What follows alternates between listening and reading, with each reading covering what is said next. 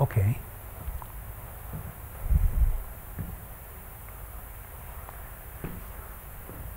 What I'm going to try and do is talk in um, a lot of detail about the calculation of the mass of a real physical Higgs boson. Um, and of course relate it to the recently being discovered one. Um, this work is is part of a program that's been going on for six years with Bobby Acharya and a list of other people up here, several of whom Piyush Kumar and Ran Lu and Scott Watson are here. Um, we have a recent review of most of the work in the field. Try we tried to write a review which summarized in 30 pages everything that was done in an overview sense with a lot of details and references. Um, here I'm just focusing on the Higgs prediction. Bobby gave a talk yesterday on an overview of the compactification and a lot of the results, and Piyush Kumar will talk tomorrow on the dark matter part and Lu on the LHC um, predictions. The philosophy of the approach is um, look for solutions of compactified string and M theories, but we'll work mainly in M theory compactifications on a G2 manifold, but many of the results will be more general and um, I'll sometimes indicate that, so it's not just special to that in many cases. We look for solutions that have the properties we want our world to have, like TeV scale physics and no contradiction with cosmology and other data. And we look for solutions with a Higgs mechanism, because that's the kind of world we're talking about if there's Higgs bosons in it. So we want it to have electroweak symmetry breaking. Then in those worlds, we calculate the ratio of m Higgs to mz. I'll, at the end, I'll briefly talk about calculating just m Higgs instead of the ratio itself, but we focus on the normalized ratio. So what we found is that um, when we did this all ahead of time before there was any data from CERN, we found that um, it did predict a Higgs boson in the region of interest at about 125 GeV. Um, the prediction is, holds in the M theory case, but it's more general. Lots of other approaches to string theory will automatically give it too. We make a number of assumptions in the process, um, the assumptions, but they're assumptions that are not related to the result itself. They're just um, assumptions to go ahead. Many of them can be checked independently or derived independently. So we compactify the M theory on a G2 manifold in a fluxless sector. Um, we assume, this is now a very important point, we assume the gauge group below compactification is the MSSM gauge group. Um, you can one by one at this point take any gauge group you want and repeat exactly what we do and get the Higgs mass prediction for it. And I'll make a remark, a couple remarks on that near the end of the talk. We make the standard sort of assumption about um, inflation. The Hubble parameter at the end of inflation is larger than the gravitino mass. We assume after compactification you have a supergravity field theory. We assume there's one heavy fermion in the theory. That's of course true, but um, it's not being derived in this framework directly.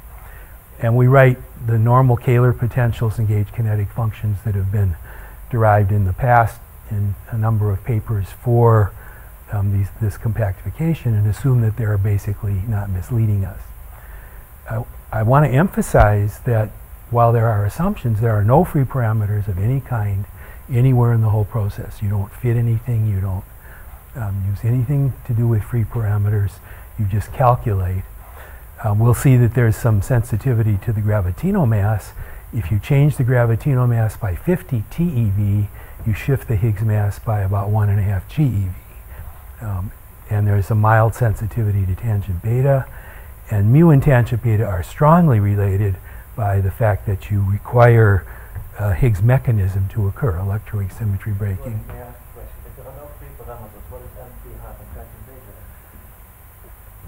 They're not free parameters. I'll tell you their I'll tell you the numerical value of tangent beta in the calculation from the theory, but the calculation isn't completely accurate, so we allow it to vary a little bit. But we do a calculation from the theory, and it tells us tangent beta is 10, period. But I, uh, the calculation is not yet reliable to a factor of 2 or so. Factor 2 one way, factor of 50% the other way. Um, the gravitino mass um, has a lower limit and it has a soft upper limit in getting in contradictions occur. So the gravitino mass, the constraints are phenomenological um, rather than theoretical. But it's fixed before, no, we don't. We fix it by other things and then put it in here. It's the lower limit, for example, is fixed by cosmology arguments and then kept there, and we don't have fixing the parameters not done with the Higgs mass at all. That's the point. And it has a very little sensitivity. If, if you look, you can think about how big it could be, but you start getting into big trouble if it's much bigger than 100 TeV. So that actually doesn't allow you much change in the prediction. But within that range, I show you the sensitivity. And I'll try and explain um, how, why, why is M Higgs coming out light. I'm going to talk about, we're all starting at the Planck scale for everything. I'll try and explain how we get from the Planck scale to 125 GeV. Um, there's two kinds of issues there. Um, the, in the first case, you go through a series of arguments like this that Bobby mainly summarized or derives. You start with a compactified M theory. You have orbifold and conical singularities um, in various manifold, submanifolds. You have coming from them gauge and chiral matter. That leads to gaugino and meson condensates. Um, you get F terms, you get supersymmetry breaking, the moduli get stabilized. You're in a de Sitter vacuum. Typical gauge groups give a condensation um, four to five orders of magnitude below the Planck scale. That gets cubed in the superpotential. So the gravitino mass in a top-down approach, if you took it as a calculation, would come out in this 50 to 100 TeV range. So one way you could look at it is that's a predict that's a calculation of the gravitino mass. You just use it from now on and don't vary it at all. What's the definition of typical gauge group? You look at 100 gauge groups and, and or, or so and look at their ranks and it's the rank of the gauge group that matters for this and then you um, look at the typical numbers you get and you're normally four or five orders of magnitude. They're, they're usually larger rank, you know they are, yeah. So, yeah, there are a few small ones, but the large ones dominate in that they cause the condensation earlier and make it happen.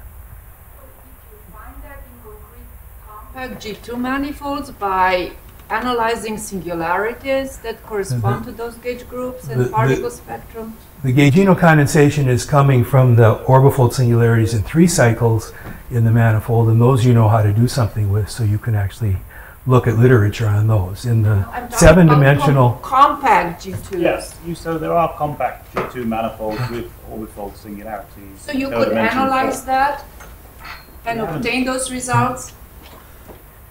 Uh, done, uh, there's no systematic construction of compact G2 manifolds, um, which provides, you know, something like a Kreuzer-Skarke database. However, there's a lot of interest in the mathematics community at the moment.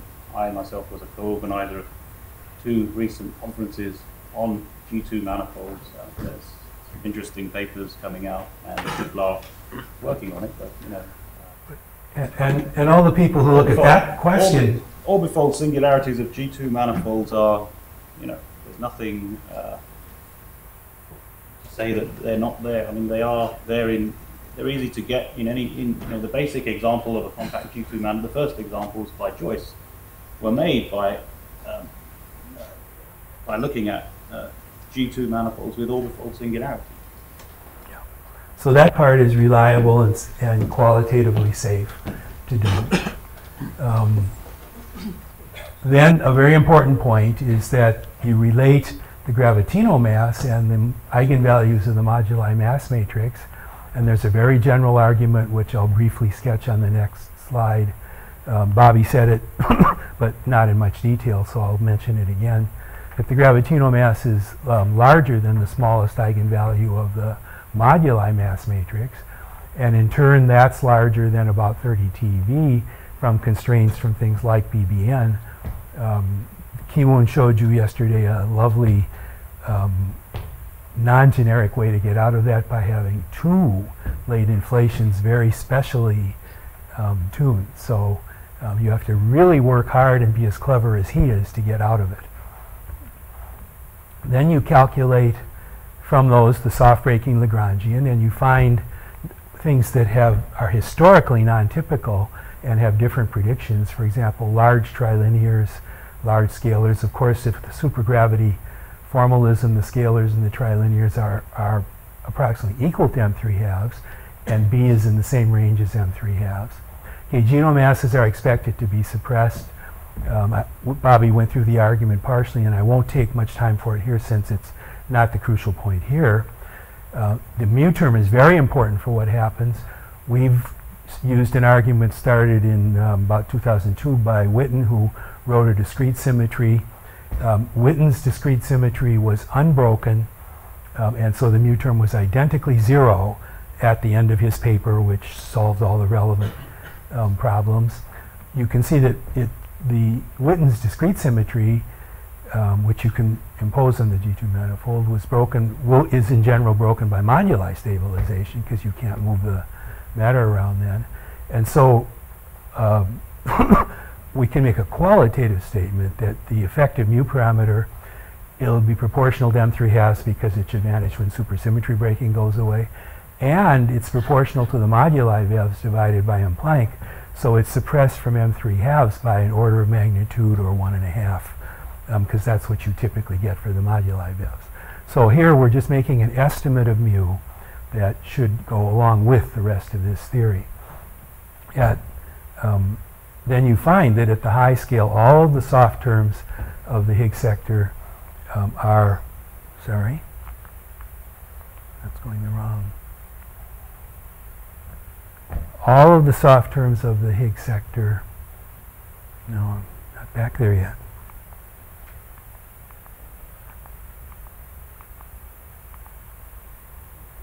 That's where I was, okay.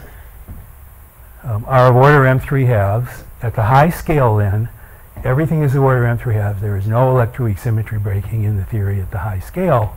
Um, there's no such thing as tangent beta at the high scale. You don't have Higgses at the high scale. Then you start to run down to the low scale to calculate.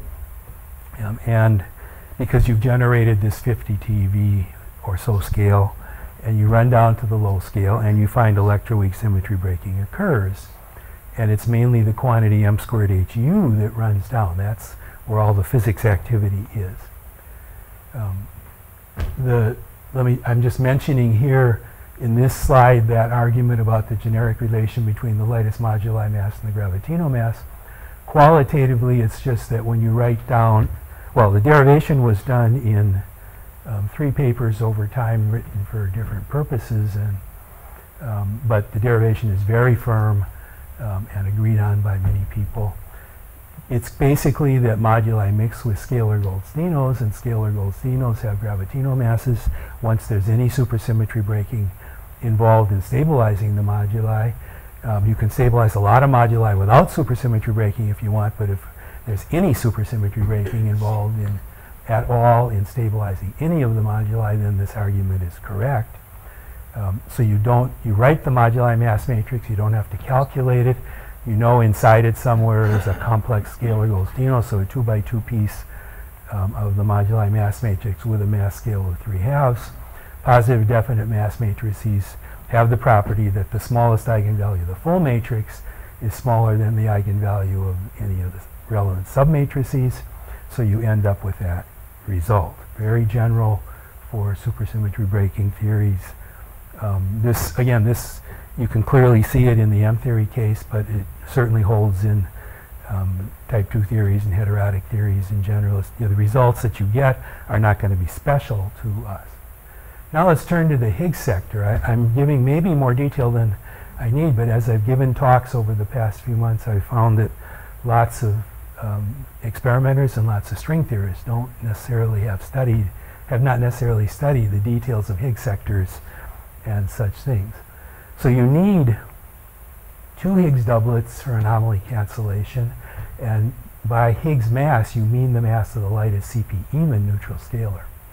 It, you, it's been known for a couple decades that if the Z boson, for example, gets its mass from the Higgs mechanism, then there's an upper limit of about twice mz on that, that Higgs mass if the theory is perturbative up to the unification scale. Um, and there's an upper limit of about 140 GeV on just the MSSM, whereas the twice mz limit is on any theory that stays perturbative up to high scales.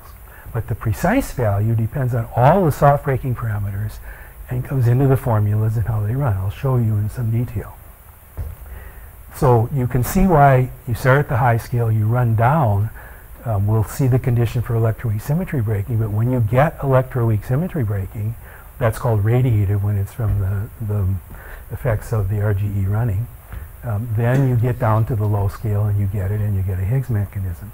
Why the value is precisely 125 GeV is complicated because it depends on all that running and on all the soft parameters. There's no simple way to see the number 125 emerge because it's a complicated um, thing from several things. The Higgs potential at any scale has this form with m squared hu and m squared hd being the soft breaking terms and the soft breaking b term coming in. Then the actual mass matrix you diagonalize has this form and all the things in there run. Um, and you have to find a negative eigenvalue if you want electroweak symmetry breaking. So the main thing that, as I'll show you, that runs is m squared hu. The quantity tangent beta that is important for the low scale theory doesn't exist until after the breaking occurs. And people normally take two of the vevs squared and put in the numerical value of mw, reducing the other one, the other uncertainty to that tangent beta. So it looks a little bit like this in terms of an explanation. You, you have a high scale compactified string theory.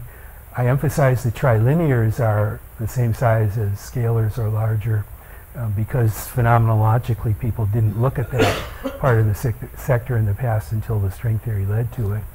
You get basically a result like this, that m squared hu, which remember is the quantity in that Higgs mass matrix, that takes a form like what is written there, the scalar mass at the high scale squared and the trilinear at the high scale squared. And then the term f sub m of t, that is purely standard model, calculable, known stuff. It's got top quark Yukawas, it's got stuff in it that everybody knows and knows how to calculate very well. There's no string theory or parameters in that.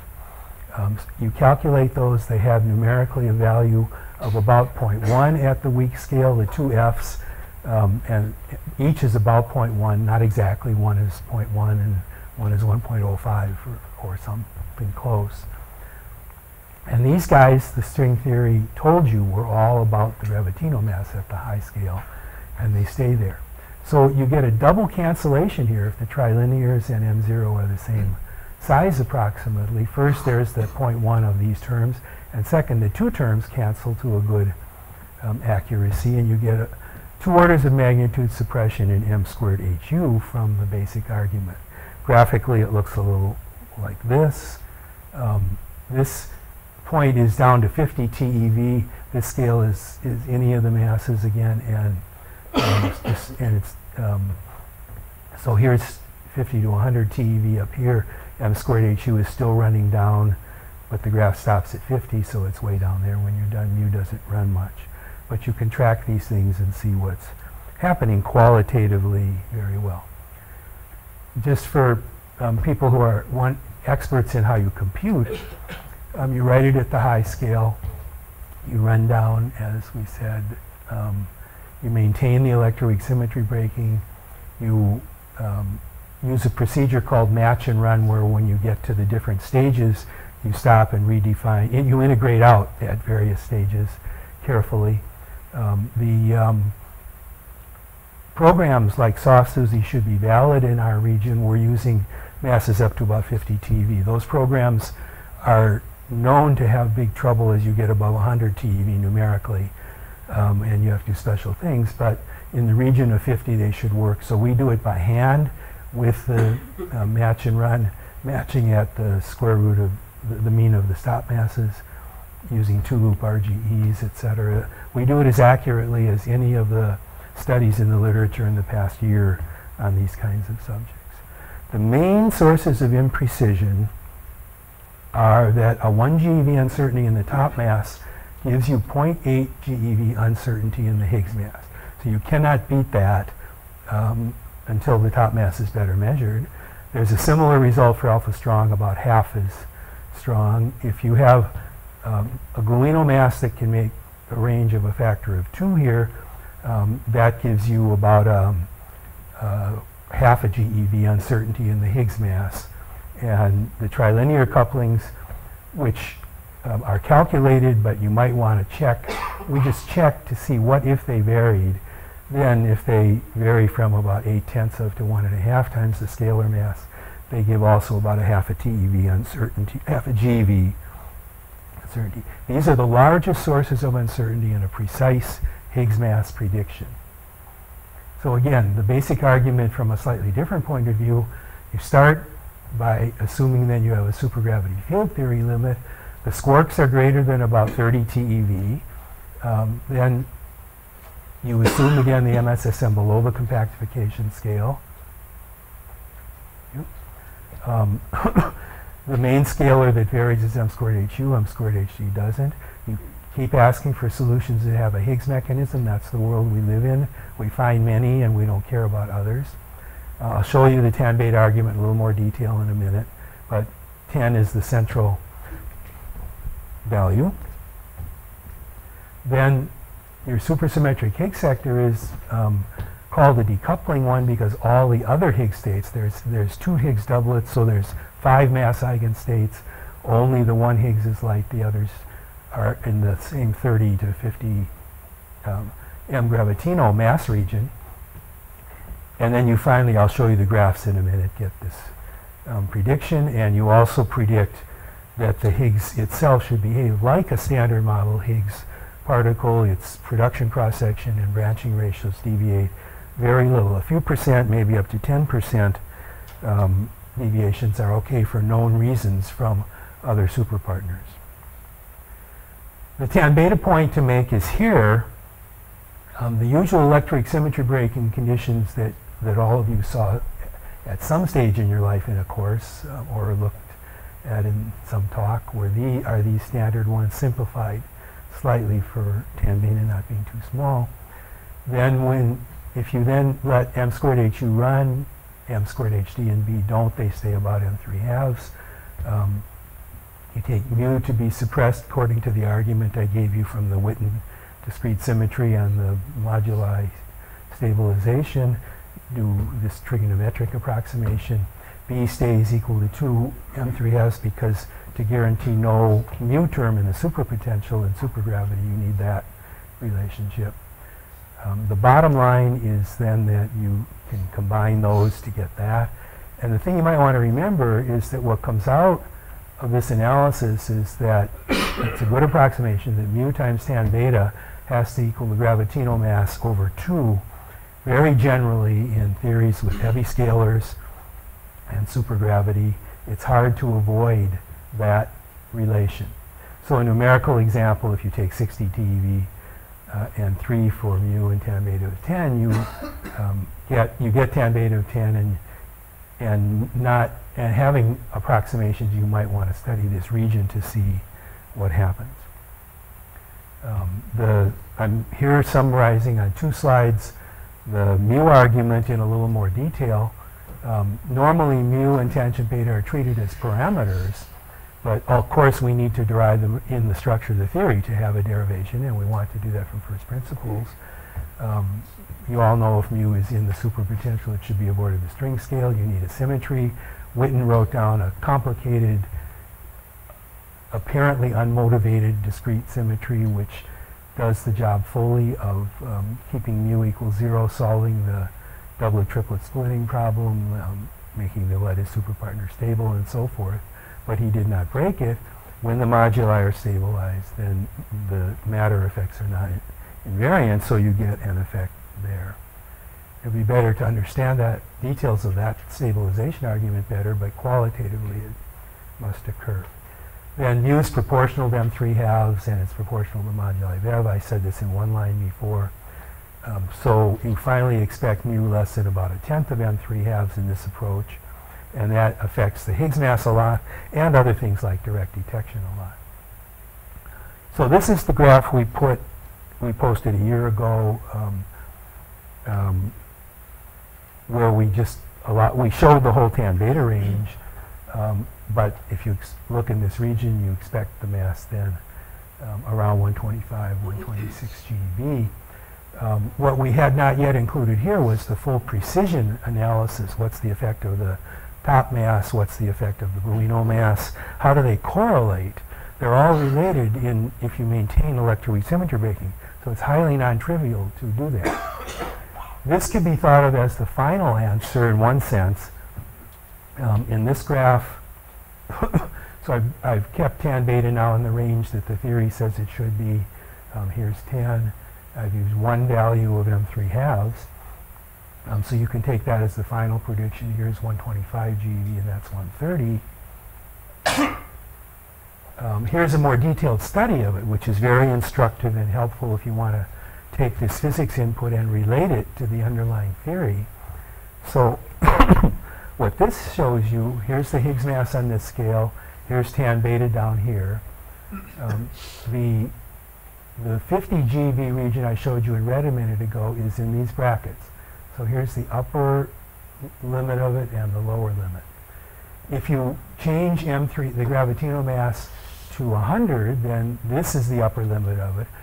The blue dots show you the entire allowed region from scanning over top mass and gluino mass and strong coupling and everything but the gravitino mass.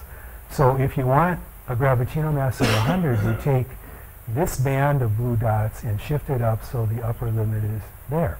And that gives you a sense of that scatter. That's the most that happens when you change the gravitino mass to 100. And as I said before, it goes up about another um, one and a half GeV in the Higgs mass uh, if you double the gravitino mass again. Um, so this is um, the important set of results. And these blue dots all have that small mu consistent with mu tangent beta equal m 3 halves over 2. Um, here, um, in the red points show you what you get if you have a large mu um, in the same framework. Then they allow electric symmetry breaking to occur um, if you're on one of the red points, but it's only possible at small tangent beta um, because of that correlation.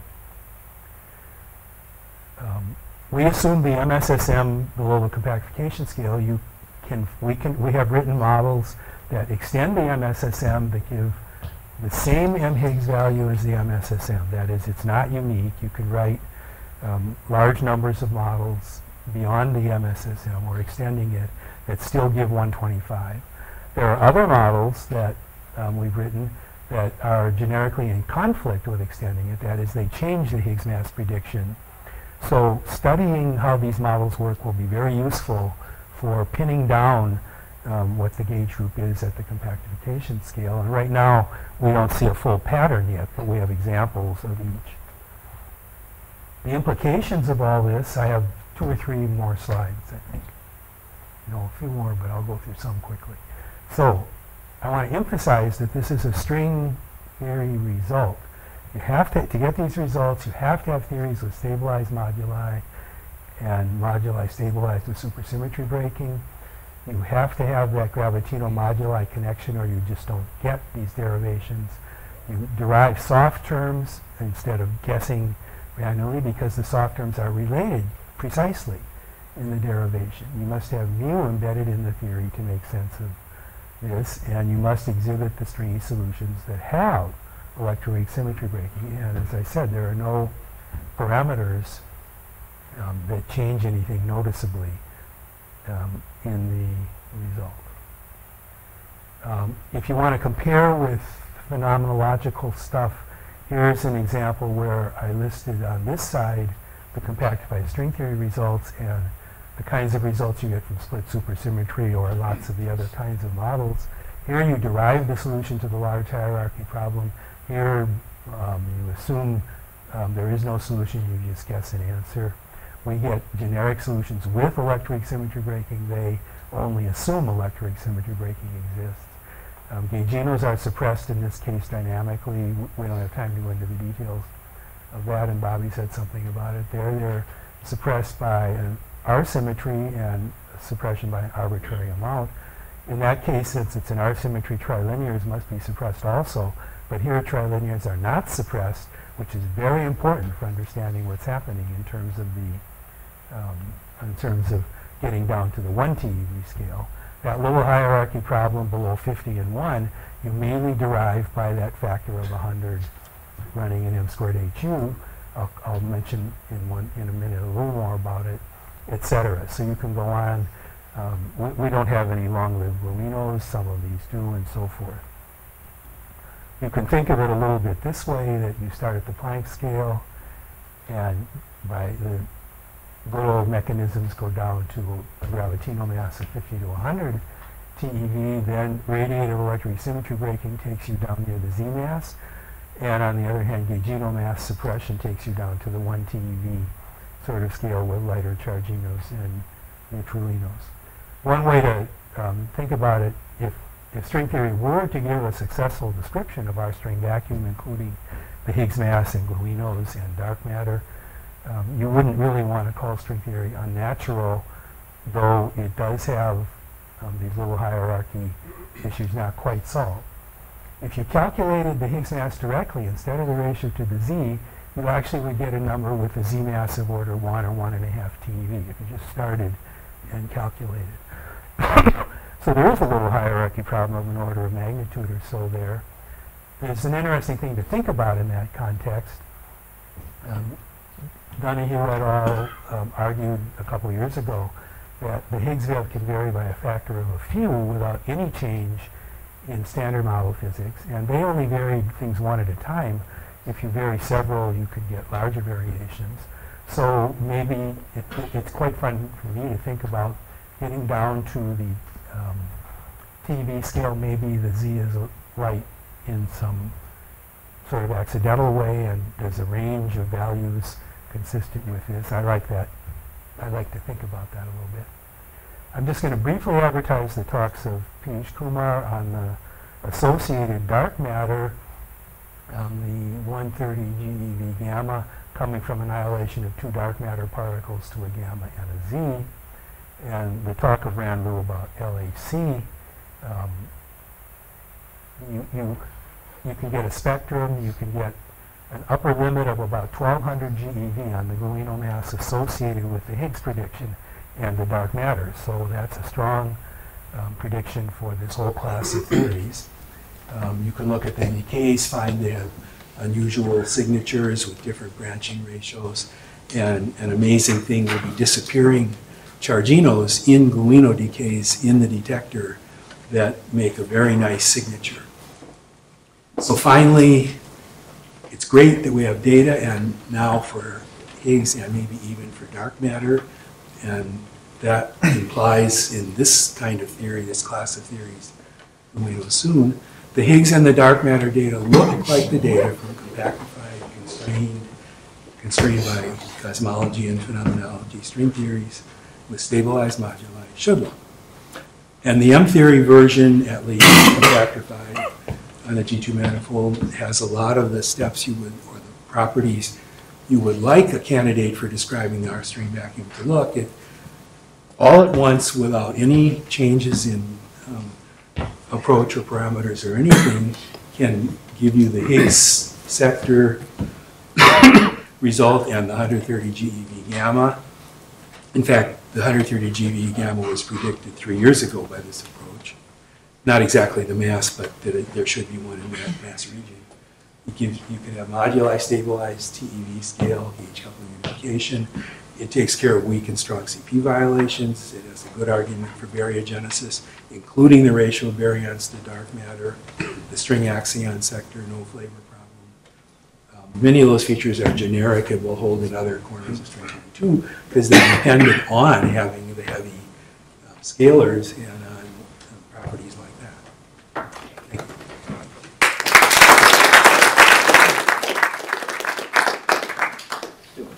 So for your formula for the value of tangent beta, you had a, a formula that had a b, the b term, right? b mu, and b you said was equal to twice m3 halves. Why is it twice m3 halves? That, that 2 changed the value of tangent beta by a factor of 2. Um, Why not 3 m3 Backward halves? West page something. You want the no mu term in the superpotential, and there's some constraint there. I have to think give it to you more precisely, but This you is look up the soft- supergravity formulas, and what's- This super, it's there with our normal. this is m sugra or something, but m sugra says that b is equal, b is equal to a minus 1, right? No, that's in a very special one, that's But a what- Polonyi model or something. No, that's uh, also coming out of minimal sugra. b is equal to a minus 1. Or the, the Nilles A- review has the two in it. Well, but the two is a model-dependent statement, no? No. Yes. Yes. It's model dependent in the sense that you want no mu in the superpotential. No, it has nothing to do with mu. Mu is supersymmetric. We, B what, is- what we did was we, we, we have the moduli potential, and then we just calculated mu um, for the case when you've got Witten's discrete symmetry, and we calculated d mu. And that's what came out. And there's But it- ratios too. So it's- it is a model-dependent statement. in, in this approach to the mu. A question about predictions. First, you say the Gluino mass is below 1.2 TeV. That's for sure. I think it's Yeah, pretty okay. close for sure. No, just to- We didn't check the numerical. uh, The other question is, when you, you, you are saying that you predicted the Higgs mass. This approach predicts the mass. Well, And we so- did the calculation. Well, okay, so. Can you again show, can you again show the plot which you showed last August?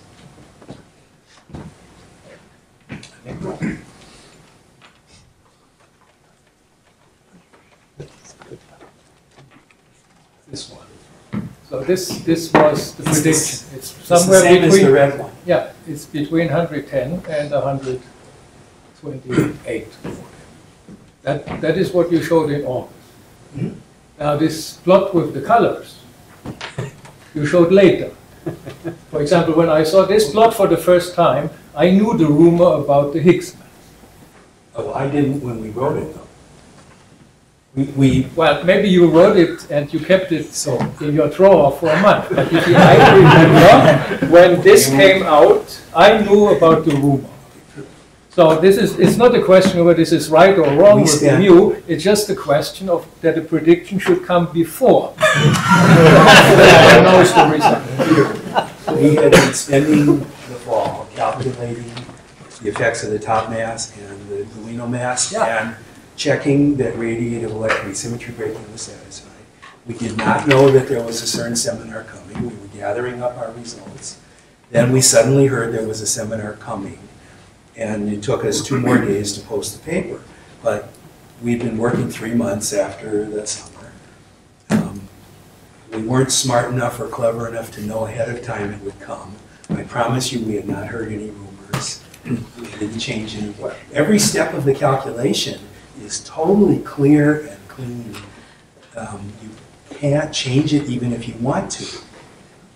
So you can accuse us of anything you want, but No, I don't But it has accuse nothing you. to do with This it. might be right, but you might be bigger in case but- the rumor has changed. Well, no, it's, We- it's No, not in our whether it's right or wrong. It's just a question. it's When I make a prediction, I should make, this I is a plot.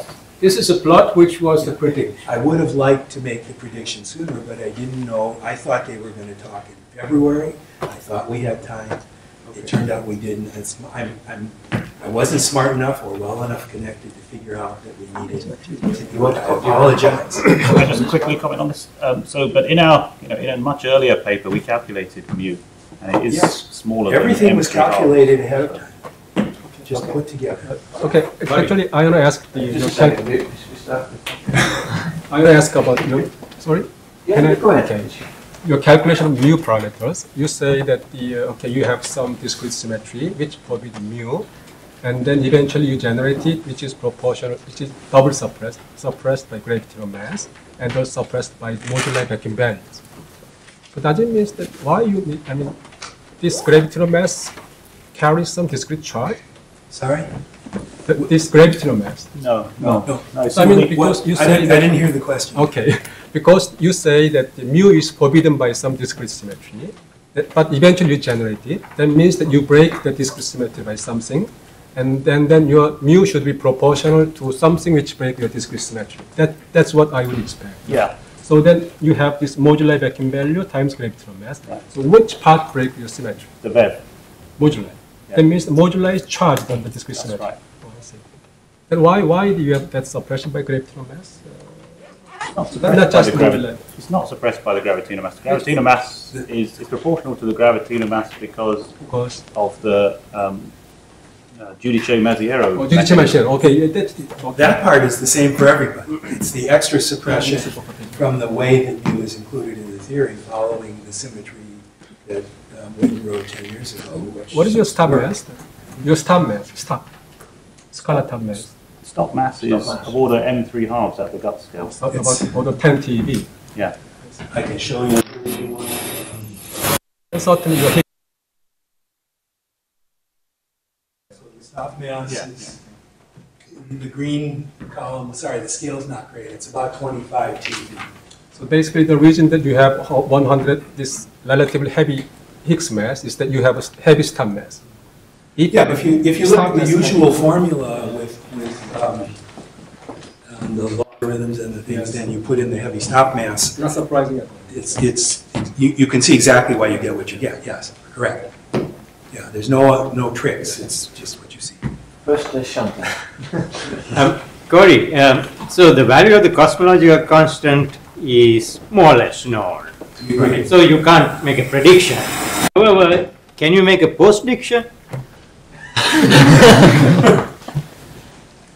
mean, accurate one, no.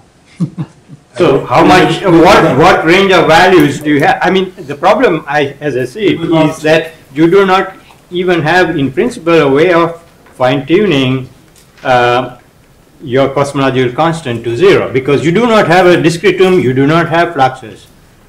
No, actually, we do have a discretum, which is because the potential is generate. It depends on two discrete quantities in the simplest case, which are the two hidden sector gauge groups, and there's some nonlinear function of of those the the ranks of those gauge groups, um, which is effectively W. I mean, is effectively the constant in the, the superpotential that you have to dial in order to scan um, the cosmological constant. So that question depends upon the number of G2 manifolds with um, with orbifold singularities um, and the distribution of this function um, amongst that set. So do you, I mean, can you estimate that? So for example, in type 2b with fluxes, You don't even know the number of compact Calabi-Yau 3 manifolds, three folds. Nobody knows that number. Yes, but you know that you can, you can turn on fluxes, right? But for, Yeah. for fun. So, so you can have, so easily have more than 10 to the 120 uh, configurations. So, for fun, Konstantin Bobkov did an estimate of the things Bobby is listing and came up with a number big enough to solve the cosmological constant problem, but he can't defend those numbers well enough, he hasn't published them yet. But he did do an estimate like So, that, for example. My question is uh, on the gravitino mass, just to clarify. Um, so it's set by the difference of the ranks in your Gaugino condensates in your hidden sector. So usually, I think yesterday we had an explicit formula in Bobby's talk where it's depending on Q minus P, which has to be larger or equal to 3. In order to get it to in the TeV range, you set this to be 3. But um, I understood of yesterday's talk that this is something put in by hand, an assumption that you make that there's low energy supersymmetry in the sense that this is in 50 TeV or 100 TeV range, but there's no theoretical argument for why it has to be there. I mean, this rank difference can be 10 or something, so that brings you up the gravitino mass to an intermediate scale, up to the string scale. There's no argument, if I understood you as of now to have it at in this TeV range. So that if because that would As I said, there's no theoretical argument that we know of. that's a bottom that puts an upper limit on it. Um, yeah, But it looks like there are phenomenological um, hints, but we're looking for solutions to study at this point. If someone wants to study the solutions with larger gravitational masses, that's, that's okay. It looks to us like the relic densities and other things will go wrong, but we don't have a strong, clean argument for that at this point. Um, you This should will, a little will bit feed about in the. Higgs mass, right? But we don't have an upper limit. This will feed in you, into your Higgs mass, right? So then, if you allow for a gravitational mass much larger, you get up to 140 GeV of your Higgs mass. So then, in principle, Well, I- depending on the mu term, you have a relation that allows you So from the 115 or even 90 Higgs mass GeV to up up to about one and a 200 GeV. GeV. So then I don't understand the hundred prediction. As you increase. Well, just, just, I mean, you know, if I put q minus b equals to four or five, that, those models are phenomenologically irrelevant. We cannot live in a universe like that. So it's like studying, you know, ADS five cross S five as a candidate vacuum. I mean, It's irrelevant. Um, the other point is that that is, yeah, kind of anthropic. Um, The other, the other point is that um, in the minimum, the simplest model that we wrote, the first model that we wrote, um, Q minus P equals three comes out automatically, um, just from minimizing the potential. And um, the, when you, when you additionally set this uh, nonlinear function, you know, this the constant term in the superpotential effectively to zero, um, you get actually 50 TeV as the scale. So um, the, the, the minimal model actually has it built in, but if you were to extend it into, let's say, more And and uh, let me say more one more generic thing. cases, We're looking for you could have other solutions. other SUSY. We're looking for solutions that can describe our world, and we find a whole set of those with that property. And in those, that is the prediction. It looks to us like a larger value of the gravitational mass will not lead to an acceptable set of solutions to live in a world like, but we haven't proved that yet. Okay, well, um, how long are we going to continue? Because Just one maybe- question. Okay,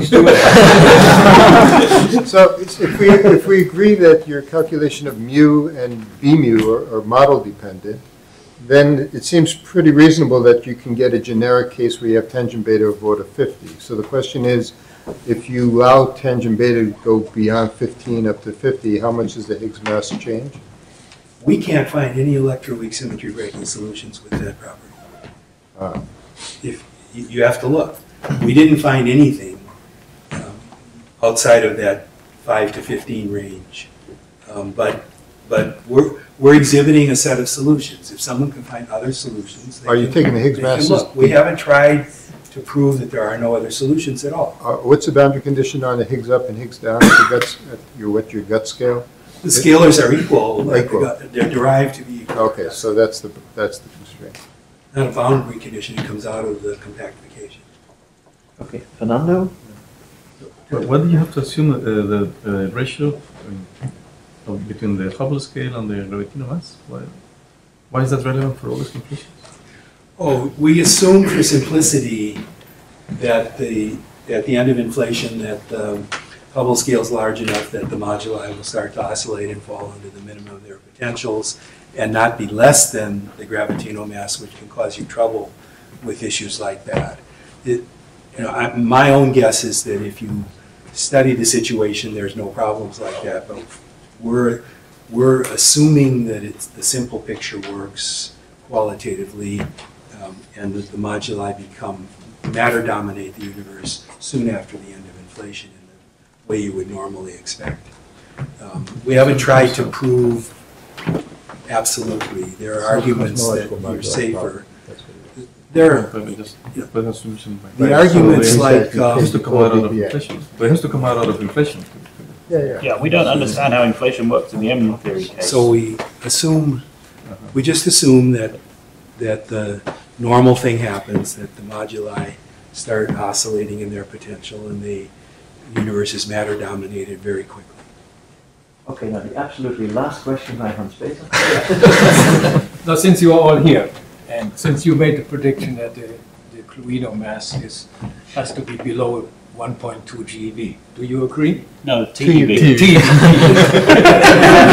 Now, No, so that, but let me elaborate on that. That, No, no. That depends on the. Is this a prediction or not? Yes, so that, that, the 1.2 TeV comes by, um, s- by Yeah, saying that the 130 GeV gamma line is, cor- corresponds to the Oh, wino dark matter. part. So then we scale So from if that. that signal went away, if the dark matter signal went away, then you would have a different, you would have a higher wino mass and a corresponding. If that signal stays, No, then it's you a see, for prediction. example, in our case, in the Heterotic picture, we have a very similar thing, but we have a small a, a rather small a, because of the suppression, and that forces us in some way, for the same Higgs mass, to push up the Gluino. In that sense, when I was showing, we had four TeVs, for the Gluino, where we have one You don't- point two. you don't So that would be a nice way to actually distinguish between the schemes. So this is why I wanted you to, you said one point two TeV. Given, but you don't have any, you don't have word. any, Yeah, yeah. last word, more. Okay, good. You don't have any dark matter annihilation line predicted at all, it's observable. So if they observe any dark matter annihilation line, non-energetic gas from the heavens, uh, then then you've already got a problem. So it's, re- and it's a related problem. No, no. They're correlated here. Okay, let's close this session here and let- let's then go into the.